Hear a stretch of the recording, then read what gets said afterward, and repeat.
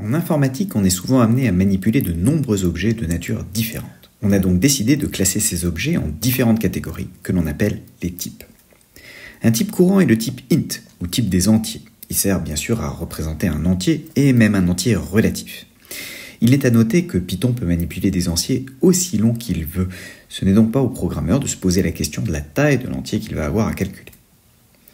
Les flottants sont là pour en présenter les réels, même si en réalité il est impossible de représenter une infinité de réels en un nombre fini de bits. Il faut donc accepter de vivre avec des bizarreries, comme le fait que 0,1 ajouté à 0,2 ne fait pas 0,3, pour la simple raison que le flottant le plus proche de la valeur de 0,1 lui est légèrement supérieur. De même pour 0,2. Donc une somme légèrement supérieure à 0,3, alors que la valeur flottante la plus proche de 0,3 est, elle, légèrement inférieur au vrai zéro. La plupart du temps, cela n'aura pas d'influence, mais savoir que la comparaison stricte de deux flottants obtenus via deux calculs différents peut poser problème pourra vraisemblablement vous sauver la vie en réalisant qu'une boucle en apparence anodine pourrait complètement dérailler sans possibilité d'arrêt. Naturellement, après Z, l'ensemble des antirelatifs, et R, l'ensemble des réels, on s'attend à ce que l'ensemble des complexes C soit aussi représenté. Et il l'est nativement avec une particularité, on n'utilise pas i comme nombre imaginaire de carré moins 1, mais j, car i est très souvent utilisé en première intention en informatique comme indice de boucle.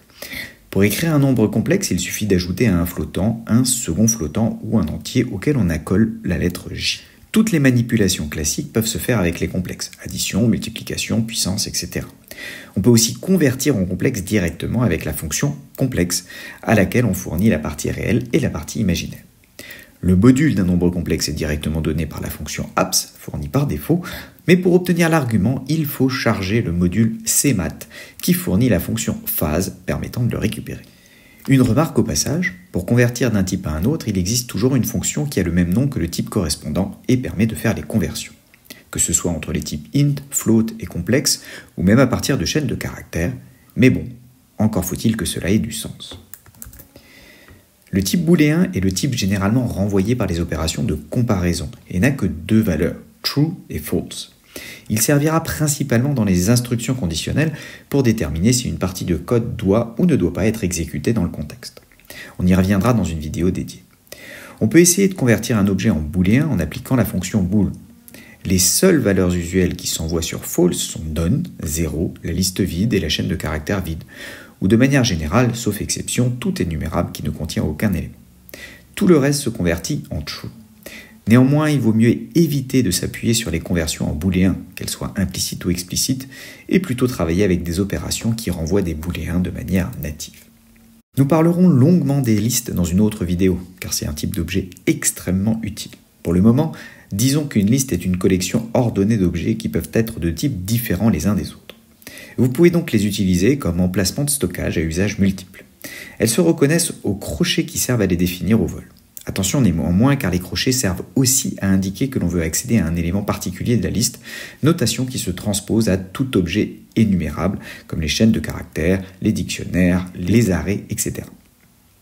Les listes viennent avec quelques outils utiles. Le plus utilisé d'entre eux étant la méthode append qui permet de rajouter un élément à la fin de la liste très apprécié pour peupler une liste au fur et à mesure quand l'élément à ajouter a pu passer un certain nombre de vérifications. Parmi les autres méthodes utiles, on peut citer index pour trouver la première position occupée par une valeur donnée de la liste. Notez bien que la première position est numérotée 0 et non 1 dans la liste. Attention, il faut être sûr que l'élément est bien présent, sinon Python enverra une erreur. Il y a aussi extend qui étend la liste courante en y rajoutant tous les éléments d'une autre liste donnée en argument. Reverse pour renverser la liste en inversant l'ordre de tous les éléments. Notez bien les parenthèses obligatoires si vous voulez vraiment exécuter la commande. Et notez aussi que la liste est modifiée mais que la commande en elle-même ne renvoie rien. Et puis il y a sort qui permet de trier une liste à condition néanmoins que les éléments qui la composent soient comparables entre eux. Les listes sont des structures de données très utiles, mais elles n'ont pas été conçues pour pouvoir facilement faire des calculs numériques. C'est pourquoi le module NumPy met à disposition des tableaux appelés np.array qui, une fois qu'on les a apprivoisés, seront d'une efficacité remarquable pour faire des calculs sur toute une série de valeurs sans montrer aucune boucle apparente. L'inconvénient néanmoins est que l'on perd le caractère hétéroclite que l'on pouvait avoir avec une liste. Tous les objets d'un array doivent être de même type, que des entiers, ou que des flottants, ou que des complexes, mais pas de mélange. Une fois un tableau créé, on peut lui appliquer toutes sortes de transformations. On peut le multiplier par un nombre, ce qui multiplie chaque valeur par le même nombre. On peut lui ajouter un nombre, ce qui ajoute ce nombre à chacune des valeurs du tableau. On peut appliquer une même fonction mathématique à chacun de ces éléments, à condition bien sûr d'utiliser les fonctions directement fournies par NumPy. Supposons par exemple que vous ayez, en TP de physique, fait une série de mesures de la distance des frettes d'un ukulélé par rapport à la fixation basse de la corde.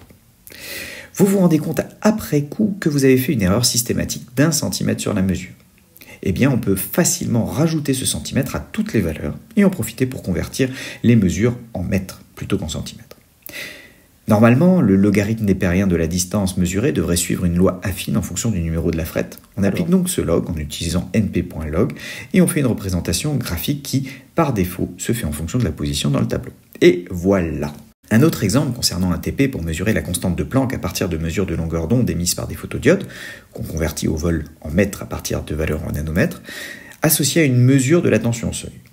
On peut alors calculer les valeurs de la constante de Planck pour chaque mesure, ainsi que la moyenne pour toutes les mesures et l'écart type correspondant. Tout cela sans boucle, sans manipulation d'indices, juste en quelques lignes, alors que les calculs effectifs font forcément appel à des boucles en somme.